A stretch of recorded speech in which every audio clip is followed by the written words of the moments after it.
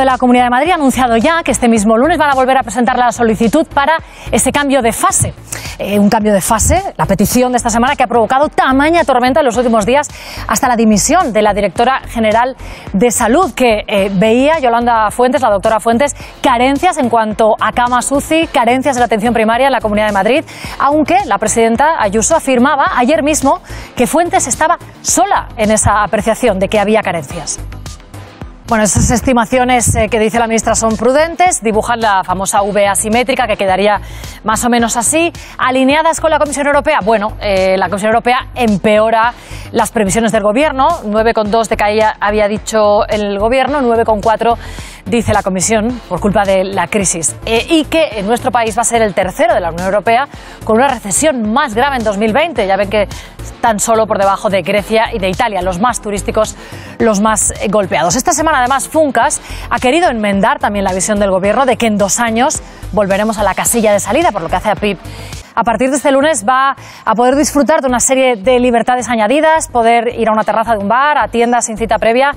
¿Teme la Organización Mundial de la Salud que puedan producirse repuntes en España a causa de este paso a la fase 1?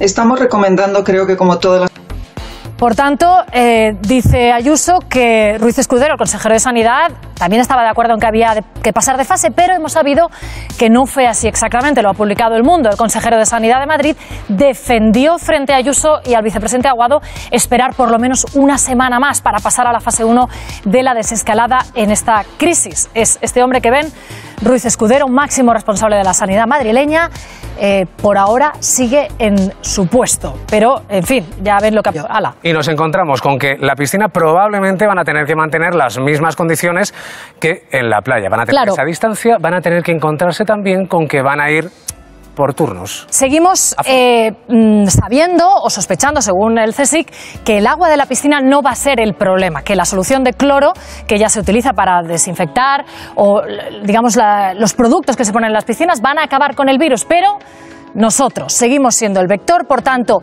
dos metros de distancia entre nosotros en el interior de las piscinas y dos metros también en el exterior. Ah, por cierto, y no se sorprendan si a la entrada de las piscinas les miden la temperatura. Sí, en algunas de ellas ya han dicho que va a ser la opción recurrente para poder entrar dentro de la piscina. Bueno, así que Iñaki ya sabe.